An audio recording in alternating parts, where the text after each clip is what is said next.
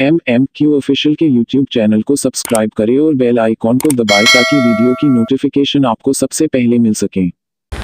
محترم ناظرین، السلام علیکم ورحمۃ اللہ وبرکاتہ۔ استقبال ہے آپ کا ہمارے YouTube channel M M Q official پر۔ آج کے اس دجالی دور میں مسلمان کے ایمان کی حفاظت کے لیے ضروری ہے کہ اس کی زندگی کسی اللہ والے کے ارد گرد گھومتی رہے تاکہ ان کی مبارک اور پاکیزہ زندگی سے وہ رہنمائی، روشنی اور نور حاصل کر سکے۔ اس لیے کہ اللہ والوں کی ہر ہر ادا میں ایک رہنمائی، روشنی اور نور ہوتا ہے۔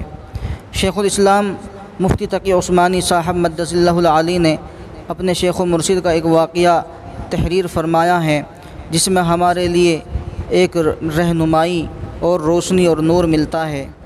حضرت فرماتے ہیں، میرے شیخ و مرشد ڈاکٹر عبد عارف عارفی رحمۃ اللہ علیہ کا حال تھا کہ جب کبھی کسی ملنے جلنے والے سے ملاقات ہو جاتی تو فرماتے، ارے بھائی، ہم تمہارے لیے بہت دعا کرتے ہیں اور روزانہ دعا کرتے ہیں۔ کوئی سمجھ سکتا ہے کہ وہ سب مسلمانوں کے لیے دعا کرتے ہوں گے؟ تو مخاطب بھی اس کے اندر شامل ہو جاتا ہوگا۔ لیکن حضرت والا کی یہ مراد نہیں تھی کہ عمومی طور پر اس طرح دعا کرتا ہوں۔ بلکہ واقعتاً خصوصی طور پر نام لے کر ہر ایک کے لیے دعا کرتے تھے۔ ایک دن میں نے پوچھ لیا کہ حضرت، آپ روزانہ ہر ایک کے لیے کس طرح دعا کرتے ہیں؟ فرمایا کہ میں نے پانچ نمازوں کو تقسیم کر رکھا ہے۔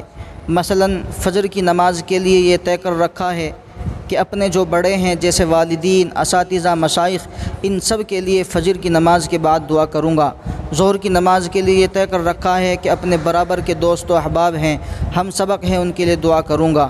اور عصر کی نماز کے بعد اپنے سے چھوٹوں کے لیے اور اپنے متعلقین کے لیے دعا کروں گا۔ مغرب کے بعد اپنے عزیزوں اور رشتہ داروں کے لیے دعا کروں گا۔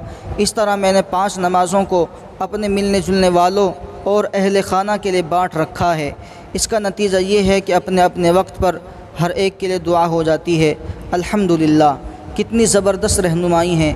پہلی رہنمائی یہ ملتی ہے کہ ایک مسلمان کا ساری دنیا کے مسلمانوں کے لیے یہ ذمہ داری بنتی ہے کہ وہ سب کے لیے دعا کریں اور دوسری رہنمائی یہ ملتی ہے کہ اللہ والے اپنے رب کی محبت میں ساری دنیا کے مسلمانوں سے محبت کرتے ہیں، ساری مخلوق سے محبت کرتے ہیں۔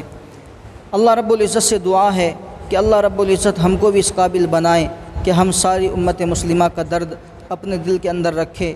اور سب کے لیے دعا کرنے والے بن جائے۔ السلام علیکم ورحمۃ اللہ وبرکاتہ۔ ویڈیو کے نیچے سبسکرائب کے بٹن پہ کلک کریں، بیل کے آئیکن پہ کلک کیجیے تاکہ ہر نئی ویڈیو کی نوٹیفکیشن آپ کو